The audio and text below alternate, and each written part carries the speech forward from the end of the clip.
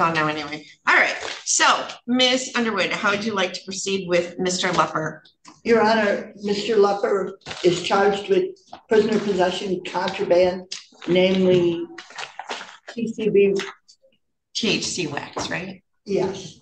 Um, the offer on this matter is an attempt, um, which would be an H grid, And I believe it's got, he would guideline between two to seventeen and five to seventeen. On this matter, I've explained all that to Mr. Lepper. Mr. Lepper wishes to have this matter set for trial. Okay, all right. And where are you currently at? uh, Adrian Correctional You're Facility. at Gus Harrison? Yes. Okay, all right. Miss, and this will be a one-day trial? Um, and I believe, I believe in this matter, the, the court would couch to the low end of the guidelines, am I correct? Yeah, I usually always do on these cases.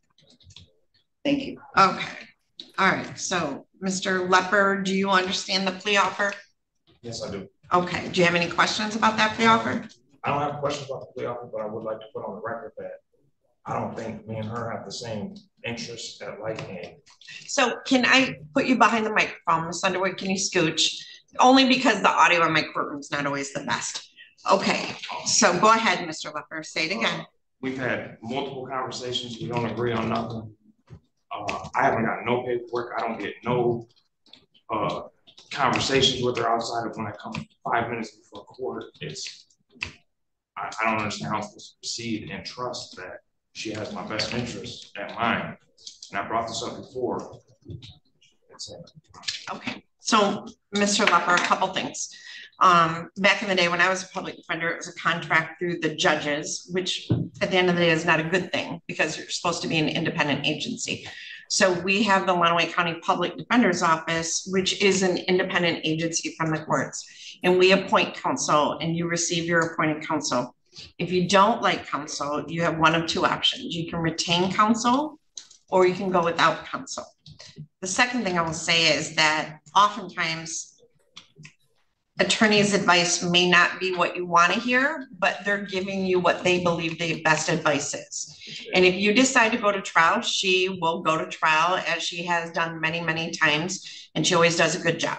Okay. But her job is to advise you of what she thinks is in your best interest, and that may not be what you think is in your best interest. and I- and I understand that. Yep. So if you go to trial, she will prepare for trial with you. Um, when the pandemic happened, it, it just became more and more difficult to meet with inmates, especially with the Michigan Department of Corrections. But it's getting better now. Um, Miss Underwood has before, if she's not able to get in to meet with them, she'll set an in-person conference at the courthouse where I give you time to meet and back here, okay? So we will always make those accommodations for you. Okay, It's just, it's, it's hard for me to understand because the last time I went to trial was ten years, almost ten years ago. So It, this is a whole different process and I don't understand it and it's, it's still the same process. I've always had attorneys come contact me, let me know. That was prior to the pandemic. I understand that. And even, even if it was just a, a Zoom, it would be fine. Okay, I've been telling her since day one, I want to go to trial and she just keeps trying to push the cops agreement. Well- I'm ple- I'm pleading my innocence. well, and that's fine, but I think, you know, as I said, sometimes attorneys will say, this is what I think is best for you. And at the end of the day, it's up to you. So, Your um, Honor, I will say that I've spent, I've sent Mr. Lepper two complete copies of all his paperwork at his request. have you I haven't them? just sent one, I've sent I think I two. received one. Okay, so, and what is it that you haven't received that you want? I mean, all I got was a police report. I didn't get nothing else as far as that goes. Um, is there a lab result or anything? I think I got the lab result. Okay, that's A lot of pretty times, much, that's all we have. that's all you have. I mean, that's the evidence is a police report and a lab test, and then people will come in and testify, like probably the lab tech will come in and testify and the correction officers will testify. I mean, that's it. You know? There's not a whole lot. So, um, but Mr. Lepper, as I said, if Miss Underwood has issues getting in to meet with you, which it has all changed since the pandemic, um, I will schedule a conference here in person and have you brought over. Okay? Yes. All right, so Ms. Underwood, I think this would be a one-day trial? Yep. All right, so Ms. Adams, and when is your, are you, do you have an out date right now? Yes. When is your out date? Uh, I want to say March thirtieth, twenty thirty. Of twenty thirty? Yes. Okay, so Miss Adams, um, I need a trial date, a one day, um, not in a big rush, so it could probably be in um, a couple months. That's fine.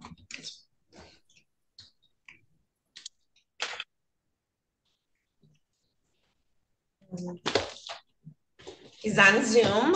So this is in the matter of the people of the state of Michigan versus Zachary Lawrence Allen Ladd, file number twenty-four two one six eight zero FH, twenty-four two one six eight one FH, twenty-four two one six eight two.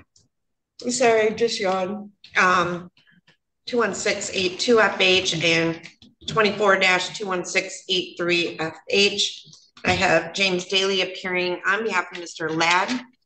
And I have um, Christopher, no, Isaac Sneed, who's my prosecutor. I'm Um, gonna go with Isaac Sneed, appearing on behalf of the people. Mr. Daly, this is the date and time set for arraignment on all four of these files. Do you waive the reading of the felony information? I do, Your Honor. And um, how would you like to proceed today? Your Honor, there's been a proposed plea bargain offered to uh, Mr. Ladd. I went to the jail yesterday, gave Mr. Ladd a copy of the proposed plea agreement and indicated to him um, what the results of that uh, could be. I believe he is ready to take a plea at this time. Is that correct, Mr. Ladd? I was wondering if I get a breakout real quick with Mr. Daly. Can't hear him. Um, he, all right, so Mr. Ladd, you're really far back. And I that was wondering if I can your get a breakout room with Mr. Daly. Yep, yep. So hold on a minute. So, um, Miss Underwood, would you be able to go in the back room and zoom in so Mr. Daly could use your laptop? Your Honor, I'll just go over to the jail and see him. I saw him Oh, yesterday. okay. He doesn't ever have anything to say when I get there, but I will talk to him in person. All right, so Mr. Ladd, Mr. Daly is gonna come see you at the jail. So I'm gonna set this over. Do you want one week, Mr. Daly? That'd be fine. Judge, All right. Judge. so- Yes, I'm sorry, he has two other matters that are set for a pretrial February twenty-first as well. okay. And we do have two other files set for pretrial on February twenty-first. That'd be fine. But do you want me to set these all over like two weeks? Why don't we set them all for the twenty-first if All I can get it? I'm trying to get a resolution to resolve everything. Okay, so what I'll do is enter a plea of not guilty, Mr. Ladd. And I'm gonna set this over for a pretrial in a couple weeks on February twenty-one. Don't talk over me and watch your language. Um, and I'm gonna set it for, I'm sorry, Mr. Ladd, come sit down.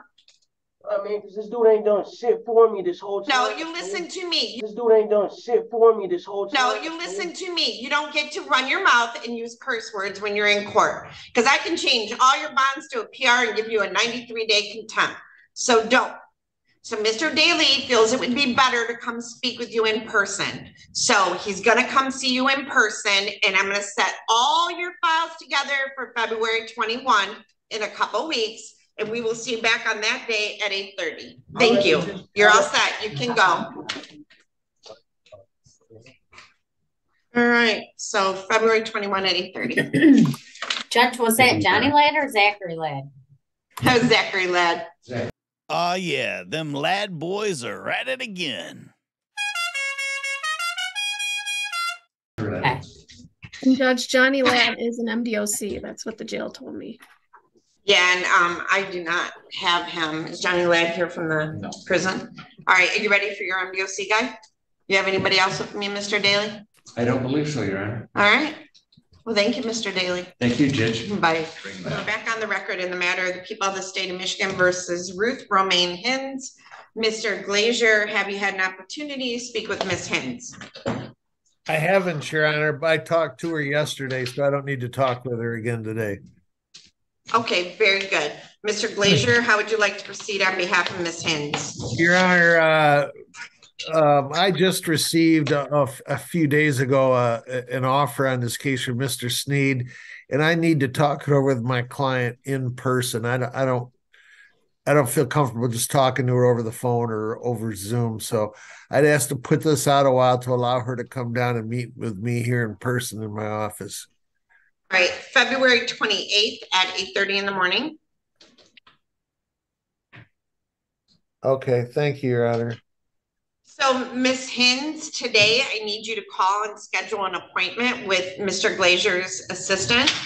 And then I need you to go in and meet with him before we go to court that day, okay? I will try my darndest, ma'am. My uncle, my one uncle is actually sharing his car between two households, so I have to get a hold of them to figure out dates and times that are good and then send it over to Mr. Uh Schleninsky, I think is his last name, um, to get that set up, ma'am. Um, Mr. Glazier may be able to accommodate via Zoom in his office, so call and see what you, you can set up. Yeah, I don't, Yes. I, I really don't want to do it by Zoom, Your Honor. I'd rather have her here in person. Right, I understand, but that gives you about three weeks to try to get a day to get a ride, all right? Yes, ma'am. Okay, right, very good. We'll see you back on, um, February twenty-eighth at eight thirty in the morning, okay? All right, Okay, thank you very much, ma'am. You have a wonderful day, all of you. thank you. All Your Honor. right, thank you. That's All I have. All right, thank you. Mr. Rose and Mr. Glazier. Or who did we decide had Mr. Rose? Mr. Malaro. So in the matter of the people of the state of Michigan versus Donald Jack Rose, Mr. Malaro, how would you like to proceed on behalf of Mr. Rose? Uh, Judge, so, uh, what we'd like to do, Mr. Rose is amenable to, uh, admitting the violation of failing to drug test and also the destruction of police property, uh, the shop retail fraud and intimidating Walmart, I think it was Walmart employees he's not willing to admit to. And then we'd like to address the contempt charge. You kind of going in and out, Mr. Malaro, so um, bear with me for just a moment. So, Mr. Rose, um, the allegations. Um, Mr. Rose was kind enough to actually send paperwork to take care of this. So we do appreciate that. So we have contempt of court for failure to appear for violation of probation hearing on September eighth, but he might have been in custody, I'm not sure. And then the violation of probation is retail fraud in Plainwell, Michigan. Behaving in an assaultive, threatening, intimidating way towards Walmart patrons and refusing to submit a drug test. So is he pleading to all three of those? Your Honor, he's willing to admit to the failure to drug test. I think there's an also an allegation of uh MDOP or destruction of police property. Oh, wait, there might be another one. He's willing to admit to. Um. No, I have an April of twenty-three failure to notify of his address, but I don't know. I think we might have. I just have, let me see here. Let me see. Um, Miss, Miss Teskey, this is Mr. Stevenson's file. So it looks like, hold on. He pled on, he pled guilty already to the violation or, um, let's see. Looks like he pled guilty for failure to appear. And I don't, we got retail fraud, If I may, the um July nineteenth, Mr. Stevenson's um allegations says that um committed a criminal act involving destruction of property on or about July thirteenth, twenty twenty-three. That involved. all right, hold on a second, hold on one second, Mr. Malone, let me sit down for a minute and see if I can go through this file, hold on.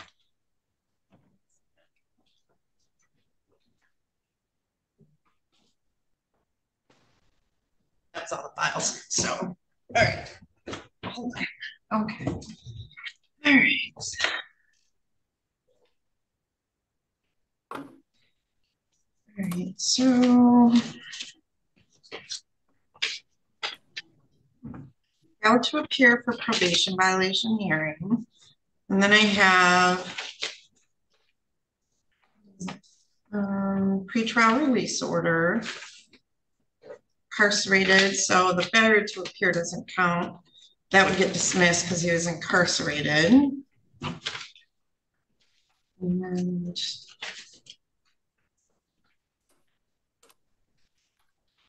release order.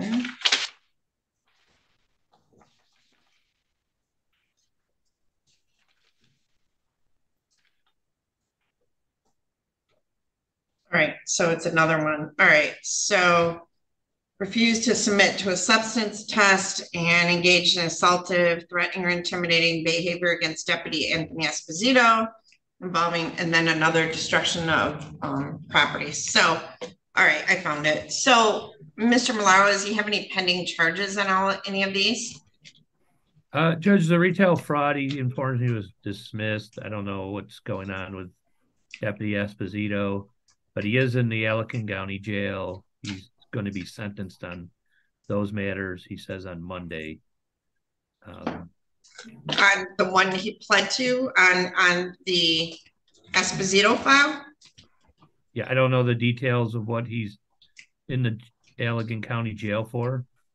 So, Mr. Rose, let me ask you a question. We have a bunch of stuff. Um, so I, I found it. There is a violation of probation that you engaged in assaultive, threatening, or intimidating behavior against Deputy Anthony Esposito, and then mm-hmm. committed a criminal act involving destruction of property on or about July 13th of 23. Have you been charged for those offenses?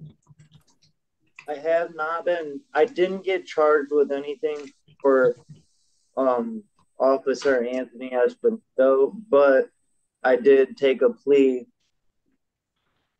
the malicious destruction of police property. That's what I'm being sentenced for on Monday. Okay, and so is it your understanding you're not being charged with anything involving specifically Deputy Esposito? Yeah, I had a conversation with Mr. with Officer Espinito, and I don't believe that I'm being charged with any. Okay. And then, okay. And then on the retail fraud at Walmart and that behavior, you've been charged with that too? No, the retail fraud and that stuff got dismissed. Okay. All right. All right. So, Mr. Malaro, perfect. All right. So, Mr. Rose, you want to raise your right hand? Do you solemnly swear or affirm to tell the truth, the whole truth, and nothing but the truth? Yes, ma'am. All right. Can um you can put your hand down, state your full name for the record, please. Donald Jack Rose. All right. So, Mr. Rose, you received all the paperwork and all these pending charges, have you not? Yes, ma'am. Okay. And you understand that there is, and I'm going to go through them again, on, let's see, July 19th of 2023, Mr. Stevenson filed a request and warrant for probation violation alleging that you violated your articles of probation dated 1229 of 22 and that you refused to submit to a substance test on or about July 13th of 23 that you engaged in assaultive, threatening, or intimidating behavior against Anthony Esposito and committed a criminal act involving destruction of property on or about July 13th of 23. And then on July 13th of 23, Mr. Stevenson submitted another request and warrant for probation violation, which alleges that you violated the articles of your probation by committing the act of retail fraud on or about July 12th of 23 at Walmart in Plainwell, Michigan, that you engaged in assaultive, threatening, or intimidating behavior towards Walmart patrons on or about that date, and that you refused to submit to a drug test on or about July 13th of 2023. So um, do you understand those are the charges against you? We're not getting good audio on you. I'm, I'm so sorry, Mr. Rose. It's not your fault, but do you understand those are all the charges? Yes, ma'am. Okay, and you are currently on probation for MDOP 1,000 to 20,000, which you understand carries a maximum penalty of up to five years in prison. Do you understand that? Yes, ma'am. Okay. Now, um, there also is contempt of court for failure to appear, but I'm going to dismiss the contempt of court because you were in custody at the time. All right. Yes. All right, now, um, you would ask for court appointed counsel. We appointed Mr. Malaro to represent you. Are you satisfied with Mr. Malaro as your attorney and the advice that he's given you? Yes, ma'am. You understand that you do have a right to contest these violation and probation charges and um, to have a trial on them. Do you understand that? Yes, ma'am. Do you understand that throughout that trial, you would be presumed innocent until proven guilty beyond a re- um, proven guilty by a preponderance of the evidence? Do you understand that? Yes, ma'am. You have a right to have all the witnesses against you appear at your trial, to have your lawyer ask those witnesses questions, or you may ask them yourself, and to have me order any witnesses you might have to appear at the trial. Do you understand all of that? Yes, ma'am. On the other hand, do you understand that you have a right to testify at your trial if you want to testify? Yes, ma'am.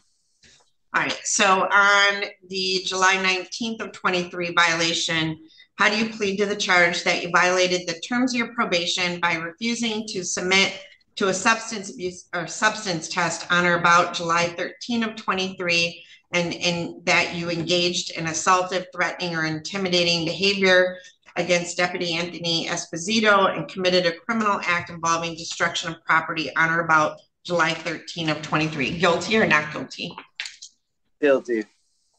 Right. And then how do you wish to plead to the charge on the July 14 of 23 summons or request a warrant for probation violation that you violated the terms of your probation by committing the act of retail fraud on or about July 12 of 23 at Walmart